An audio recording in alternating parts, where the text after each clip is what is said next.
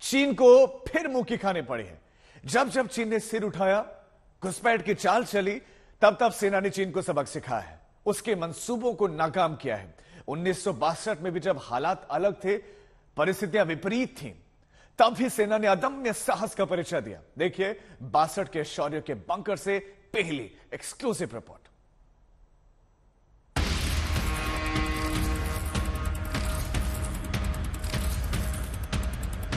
पहला बंकर, ये दूसरा बंकर, तीसरा, ये चौथा, ये पांचवा बंकर, छठा बंकर। जहाँ तक अभी आपकी निगाह टीवी स्क्रीन पर जाएगी, पंद्रह हज़ार से ज़्यादा फीट की ऊंचाई पर युद्ध का वो मैदान दिखता है, जिनमें इतिहास से मिली सीख है, सेना की वीरता के किस्से। तवांग में 9 दिसंबर की झड़प में चीनी सैनिकों को एलएसी के पार तक खदेड़ने की ताकत कितनी अब सेना के पास है? इसे समझने के लिए उन्नीस के युद्ध के बंकर के भीतर से आकर सुननी होगी कहानी। उन्नीस के जंग के दौर के वो निशान जो आपको याद दिलाते हैं उस समय के पराक्रम के। ये एक ऐसा ही बंकर है जिसका इस्तेमाल आज से सालों पहले हुआ था। इस ऊंचाई पर, इस बर्फीली ठंड के बीच पत्थरों का ये केवल एक ढांचा नहीं है ये शौर्य की एक ऐसी इमारत है जिसे आप इस पूरे इलाके में हर ओर बिखरा हुआ देख लेंगे। अब फ़र्क सिर्फ़ इतना है जब यहाँ पर हम इन मोटे जैकेट्स में पहुँचते हैं तो हमें एहसास होता है कि इस ऊंचाई पर आ, इन जगहों पर कैसे हमारे सैनिक उस सूती वर्दी और कैनवस के जूतों में रहे होंगे बिना अक्लेमेटाइजेशन के कैसे इस ऊंचाई पर अचानक समतल ज़मीन से उन्हें पहुँचा दिया गया था। उनके पास असलहा न के बराबर था।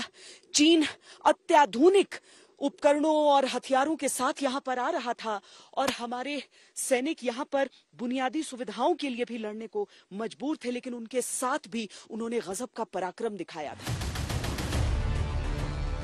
अक्टूबर से नवंबर के बीच चले उन्नीस सौ बासठ के उस युद्ध में चीन के धोखे के आगे इन्हीं बंकर से भारत के जवान मोर्चा लेते रहे।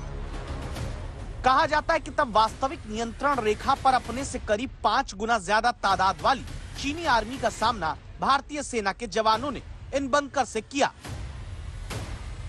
वही सेना खुलकर कहती है दुश्मन चाहे जितना ताकतवर हो हम हर परिस्थिति के लिए तैयार हैं The military man, we are always prepared to safeguard our nation, whether in peace or in conflict.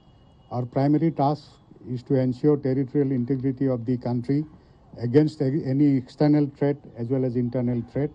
So I would say that we are prepared for all eventualities and all contingencies.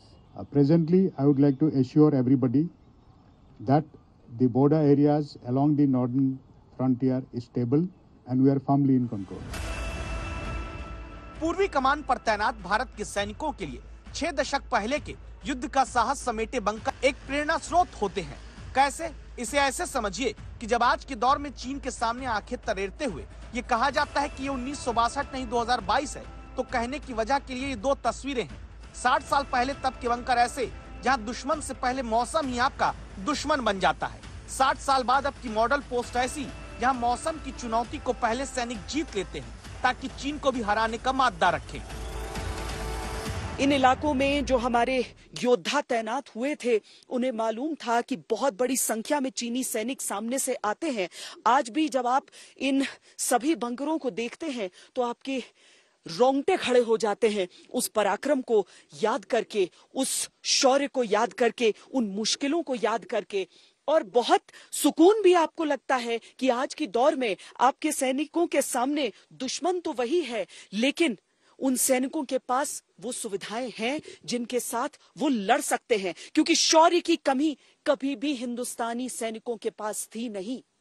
उपकरण और उस बुनियादी ढांचे की बात, उस infrastructure की बात जो थी, वो भी आज पूरी हो रही है। आज हमारे सैनिक बेहतर व्यवस्थाओं, बेहतर सुविधाओं, बेहतर हथियारों के साथ तैनात हैं, इसीलिए चीन जो बासठ की गलती दोहराने की अगर सोच भी रहा है तो ऐसा सोचे भी ना क्योंकि भारतीय सैनिक सदैव तत्पर हैं तैनात हैं सक्षम हैं। यही वजह है कि संसद में भी जब सीमा पर चीन को लेकर कोई सवाल होता है तो बात यहीं पहुँच जाती है कि ये बासठ नहीं बाईस। अरुणाचल प्रदेश के तवांग सेक्टर में चाइनीज़ इनकर्शन जैसे बहुत गंभीर मुद्दों को सांसद उठा रहे हैं। लीडर ऑफ़ अपोजिशन होने के नाते इस मुद्दे पर सांसदों की भावनाओं के साथ खड़ा होना और तत्काल कदम उठाने की मांग करना ये मेरी ज़िम्मेदारी बनती है। अभी 1962 का जमाना नहीं रहा। अभी 2022 नरेंद्र मोदी जी का जमाना है भाई।